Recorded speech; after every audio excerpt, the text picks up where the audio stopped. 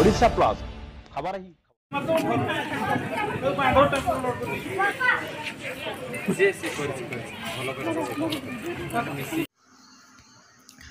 ଅଧିଷ୍ଠାତ୍ରୀ ଦେବୀ ମା କିଚକେଶ୍ୱରୀ ମନ୍ଦିର ଭିତରେ ଥିବା ଦାନହୁଣ୍ଡିରୁ ଲୁଟିନେଲେ ଦୁର୍ବୃତ୍ତ। ମୟୂରଭଞ୍ଜ ଜିଲ୍ଲା ଅଧିଷ୍ଠାତ୍ରୀ ଦେବୀ ମା ହେଉଛନ୍ତି ମା କିଚକେଶ୍ୱରୀ। ଓଡ଼ିଶାର ବାରଶହ ବର୍ଷ ପୁରାତନ ଖିଚିଂ ମନ୍ଦିରକୁ ଦେଶ ବିଦେଶରୁ ପର୍ଯ୍ୟଟକ ଏବଂ ଭକ୍ତ ଆସିଥାନ୍ତି।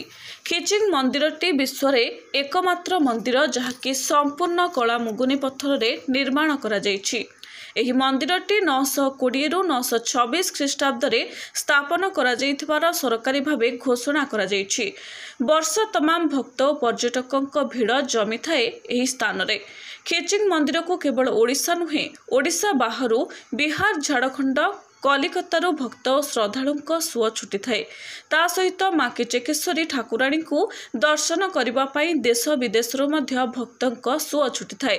ତେବେ ଏହି ମନ୍ଦିରରେ କିଛି ମାସ ପୂର୍ବରୁ ମନ୍ଦିର ଭିତରେ ଥିବା ଦାନ ହୁଣ୍ଡିରୁ ଦୁର୍ବୃତ୍ତ ଚୋରି ଉଦ୍ୟମ କରି ବିଫଳ ହୋଇଥିଲା ବେଳେ ପୁଣି ଗତକାଲି ରାତିରେ ପୋଲିସକୁ ଖୋଲାଖୋଲି ଭାବେ ଚ୍ୟାଲେଞ୍ଜ ଦେଇ ଲୁଟିବାରେ ସଫଳ ହୋଇଥିଲା ବେଳେ ଏ ବିଷୟରେ ଖବର ପାଇ ଘଟଣାସ୍ଥଳରେ ପୋଲିସ ପହଞ୍ଚି ଏହାର ତଦନ୍ତ ଆରମ୍ଭ କରିଛି।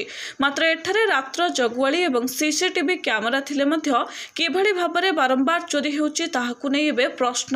ତା ସହିତ ଏହି ଅଞ୍ଚଳରେ କେବଳ ମନ୍ଦିର ନୁହେଁ ବିଭିନ୍ନ ଜାଗାରେ ଦୁର୍ବୃତ୍ତମାନେ ଚୋରି ଡକାୟତି କରିବାରେ ସଫଳ ହୋଇଛନ୍ତି। ଯାହାକୁ ନେଇ ଏହି ଅଞ୍ଚଳବାସୀ କହିବା ଅନୁଯାୟୀ ଏଠାରେ ପୋଲିସ ଠିକ୍ ଭାବରେ ପେଟ୍ରୋଲିଂ କରୁନଥିବାରୁ ଯାହାଫଳରେ ଏହି ଅଞ୍ଚଳରେ ଏପରି ଘଟଣା ବାରମ୍ବାର ଘଟୁଥିବାର ଅଭିଯୋଗ କରିଛନ୍ତି। ଆଗକୁ ପୋଲିସ ପକ୍ଷରୁ ରାତ୍ରି ପେଟ୍ରୋଲିଂକୁ କଡ଼ାକଡ଼ି କରିବାକୁ ବିଭିନ୍ନ ମହଲରୁ ଦାବି କରିଛନ୍ତି।